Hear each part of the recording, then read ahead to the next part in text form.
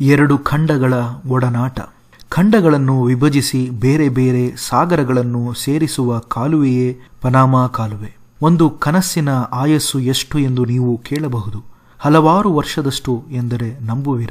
ಪನಾಮಾ ಕಾಲುವೆ ಇಂತಹ ಕನಸನ್ನು ನನಸು ಮಾಡಿರುವುದು ಎಂದರೆ ಆಶ್ಚರ್ಯವಾಗುತ್ತದೆ, ಅಚ್ಚರಿಯೂ ಆಗುತ್ತದೆ. ಅಂದು ಅಮೆರಿಕಾ ದೇಶವನ್ನು ಕಂಡುಹಿಡಿದ ಕೊಲಂಬಸ್ ತನ್ನ ಮೂಲ ಖಂಡವಾದ ಯುರೋಪಿನ ಅನ್ಯ ರಾಷ್ಟ್ರಗಳಿಗೆ ಅಮೆರಿಕ ಸೇರುವ ಆಸೆಯನ್ನು ಹುಟ್ಟಿಸಲಾಯಿತು. ಮುಖ್ಯವಾಗಿ ಯುರೋಪಿಯನರಿಗೆ ಉತ್ತರ ಅಮೆರಿಕ ಮತ್ತು ದಕ್ಷಿಣ ಅಮೆರಿಕಾಗೆ ಹೋಗುವ ಮಾರ್ಗವಾಗಲಿ ಯುರೋಪ್ ಖಂಡಕ್ಕೆ ಮರಳಿ ಹೋಗುವುದಕ್ಕೆ ಬಹಳ ಕಷ್ಟಕರವಾಯಿತು. ಹಲವಾರು ದಿನಗಳನ್ನು ಸುತ್ತಿಕೊಂಡು ಹೋಗಬೇಕಿತ್ತು. ಸಾವಿರದ ಐನೂರ ಇಪ್ಪತ್ನಾಲ್ಕನೆಯ ವರ್ಷದಲ್ಲಿ ಪನಾಮಾ ಇರುವ ಪ್ರದೇಶದಲ್ಲಿ ಕಾಲುವೆ ನಿರ್ಮಿಸಲು ಒಂದು ಯೋಜನೆ ಹಲವಾರು ದೇಶಗಳು ಯೋಚಿಸಿ ಹಾಕಿದರು. ಆ ಕಾಲದಲ್ಲೇ ಹಲವು ಕೋಟಿ ರೂಪಾಯಿಗಳಾಗುತ್ತದೆ ಎಂದು ಲೆಕ್ಕಿಸಿದ ಮೇಲೆ ಮತ್ತು ಹಲವು ರಾಷ್ಟ್ರಗಳು ಈ ವಿಷಯದ ಕುರಿತು ವೈಮನಸ್ಸು ಬೆಳೆಸಿದ ಮೇಲೆಯೂ ಈ ಕನಸನ್ನು ನನಸು ಮಾಡಲೇಬೇಕೆಂಬ ಪಣ ತೊಟ್ಟಿತು ಫ್ರಾನ್ಸ್ ದೇಶ. ಮುನ್ನೂರು ವರ್ಷಗಳ ನಂತರ ಪನಾಮಾದ ಆಳ್ವಿಕೆಯ ತನ್ನ ಪ್ರದೇಶದಲ್ಲಿ ಒಂದು ಕಾಲುವೆ ನಿರ್ಮಿಸಲು ಫ್ರಾನ್ಸ್ ಮುಂದಾಯಿತು. ಸೂಯೆಜ್ ಕಾಲುವೆಯನ್ನು ನಿರ್ಮಿಸಿದ ಫರ್ಡಿನಾಂಡ್ ಲಿಜುಪ್ಸ್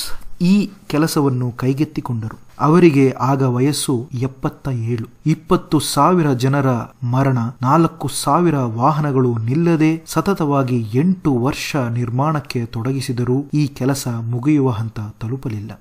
ಐವತ್ತು ಮೈಲಿ ಕಾಲುವೆ ಅಂದರೆ ಸುಲಭದ ವಿಷಯವೇ. ಖರ್ಚು ಹೆಚ್ಚಾಗುವುದಲ್ಲದೆ ಕಾರ್ಮಿಕರ ಸಾವು ಮತ್ತು ಇನ್ನೂ ಹಲವು ಕಾರಣಗಳಿಂದ ಈ ಕೆಲಸವನ್ನು ಮುಂದುವರಿಸದೆ ಫ್ರಾನ್ಸ್ ದೇಶ, ಅಮೆರಿಕ ದೇಶಕ್ಕೆ ಈ ಯೋಜನೆಯನ್ನು ಮುಂದುವರಿಸಲು ತನ್ನ ಎಲ್ಲ ವಿವರವನ್ನು ನೀಡಿತು. ಬಂಗಾರವು ಈ ಪ್ರದೇಶದಲ್ಲಿ ದೊರಕುವುದು ಎಂಬ ಮಾಹಿತಿ ಪಡೆದುಕೊಂಡ ಅಮೆರಿಕ ಈ ಯೋಜನೆಯನ್ನು ಕೈಗೆತ್ತಿಕೊಳ್ಳಲು ತೀರ್ಮಾನಿಸಿತು.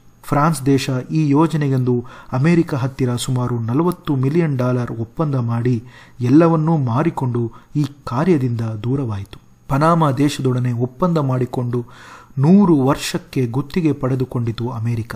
ನಲವತ್ತು ಸಾವಿರ ಕಾರ್ಮಿಕರು ಈ ಯೋಜನೆಯ ನಿರ್ಮಾಣಕ್ಕೆ ಮುಂದಾದರು. ಹಲವಾರು ಸಾಂಕ್ರಾಮಿಕ ರೋಗವನ್ನು ನಿರ್ಮೂಲನೆ ಮಾಡಲಾಯಿತು. ಮೂರು ಹಂತದ ಹೈಡ್ರಾಲಿಕ್ ಹಾದಿಯನ್ನು ನಿರ್ಮಿಸಲಾಯಿತು. ಹಡಗುಗಳು ಈ ಕಾಲುವೆಯ ಮೂಲಕ ಹೋಗುವಾಗ ಮೂರು ಹಂತವನ್ನು ದಾಟಬೇಕಾಗುತ್ತೆ ಒಂದೊಂದು ಹಂತದಲ್ಲೂ ಮೂವತ್ತು ಅಡಿ ವಿಸ್ತೀರ್ಣದಿ ಚಲಿಸಬೇಕಾಗುತ್ತೆ. ಸಮುದ್ರ ಮಟ್ಟದಿಂದ ಸುಮಾರು ತೊಂಬತ್ತು ಅಡಿ ಏರಿಸಲಾಗುತ್ತದೆ. ಇಂದು ಈ ಕಾಲುವೆಗೆ ಸುಮಾರು ನೂರ ನಾಲ್ಕು ವರ್ಷಕ್ಕೂ ಹೆಚ್ಚಾಗಿದೆ. ನಲವತ್ತು ದಿನದ ಸಾಗರ ಪ್ರಯಾಣವನ್ನು ಹತ್ತು ದಿನವಾಗಿಸಿದ ಸಾಧನೆ ಒಂದು ಕಡೆಯಾದರೆ ನಾನೂರು ವರ್ಷದ ಕನಸು ಮಾನವನ ಪರಿಶ್ರಮದಿಂದ ಸಾಧ್ಯವೆಂದು ಈ ಕಾಲುವೆ ನಮ್ಮೆಲ್ಲರಿಗೂ ಆತ್ಮಸ್ಥೈರ್ಯ ನೀಡುತ್ತಿದೆ ಎಂದರೆ ಹೆಮ್ಮೆಯಲ್ಲವೇ? ಮೂಲ ವಿಕಟನ್ ಟಿವಿ, ಕನ್ನಡಕ್ಕೆ ಅನುವಾದ, ಸಂದೇಶ.